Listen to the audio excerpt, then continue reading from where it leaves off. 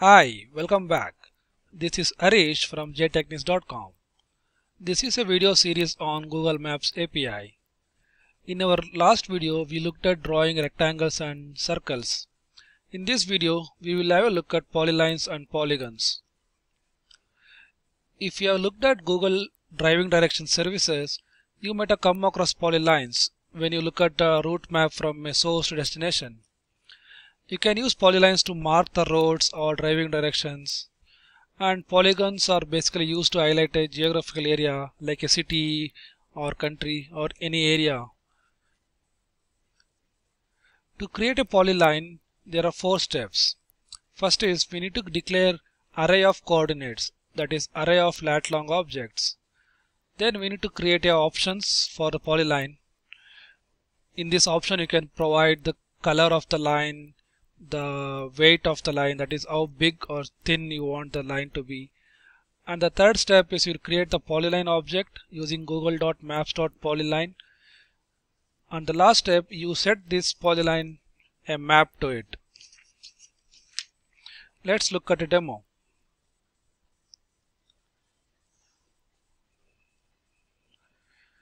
I have a basic map here which displays a map something like this. Now let's draw a line from say California to New York and to Mexico. We'll build an array to display that. The first step is to create an array. Let's say we'll say destinations equals to array. I have an array already declared. I just copy that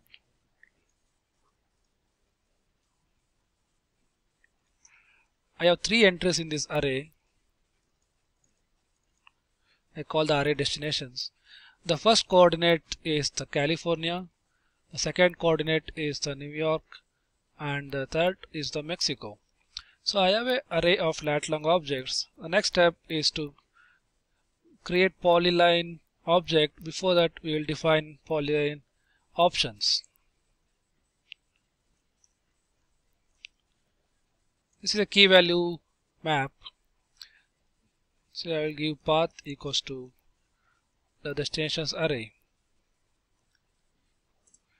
Next step is to create the polyline object. google dot maps dot google.maps.polyline and pass these options. And the last step is to set map to this polyline object dot set map the map object that we earlier created. Save this file and let's reload our map.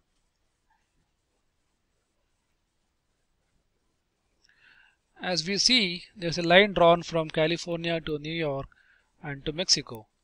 By default, the color is black and it has a particular thickness. We can customize this using the options. To change the color we use stroke color and say let's use red. And to change the thickness of the line we can use stroke weight.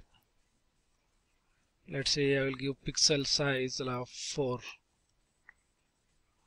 let's reload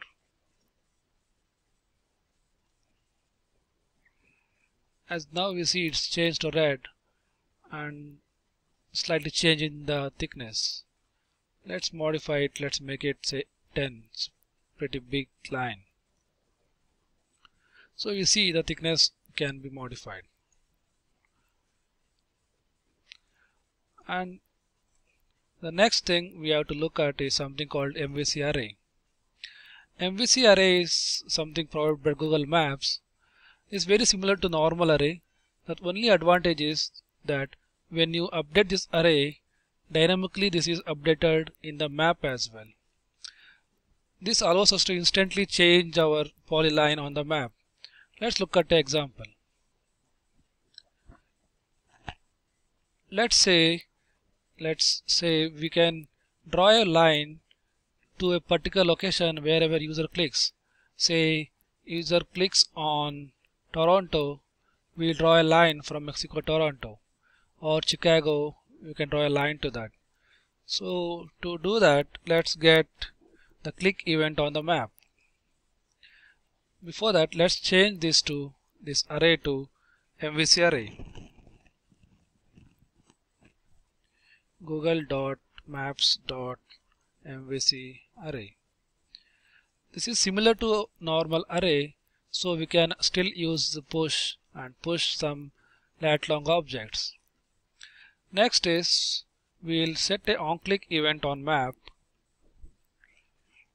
that's that can be done using google.maps.event.add listener on the map object and the click event and the function to get the current polyline we can say this returns the array. Let's say current path equals to polyline dot get path. So whenever user clicks the e object will contain the coordinate where user clicked. So to the current path array we will push the e dot lat long. This lat long is an object representing a coordinate where the user clicked. So what we have done is we converted our normal array into MVC array and when user clicks on any location in the map we get the current polyline's path and add a new entry to that array. Let's see how this works. So by default we have these three coordinates connected. Let's say I click on Minnesota. So you see the line is drawn from the last point to Minnesota. Let's say I click on somewhere near Nevada. So it keeps updating the array wherever whenever user clicks on something on the map.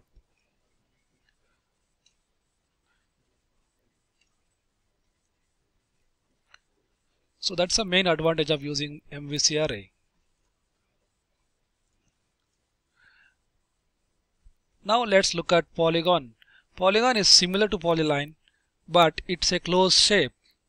That is if you provide particular set of points like the array we provided it connects all the points and finally the first and last coordinates are connected forming a closed shape. Let's look at a demo. I will remove this. We will still use our array. So let's create polygon. Options equals to path is the same. You specify the array. Next we create polygon object. New google dot maps dot polygon and pass the options. And let's set it set a map to this object. Set map map.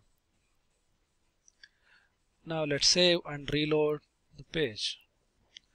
You see it's the same coordinates from California to New York and Mexico but since the polygon it completes the shape and draws a line from Mexico to California by default this looks you know the black color line and a kind of uh, gray background I mean the fill shape. This can be customized with these options similar to polyline stroke color say red and fill color say some kind of uh, blue. Let's reload basically green. So you can customize the colors and also opacity using fill opacity attributes.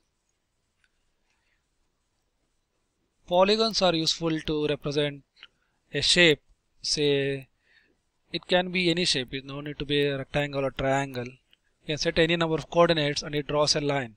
Basically that's, that's what is used to draw the state's boundary city boundaries Thank you for watching. Please visit jtechniques.com for more videos.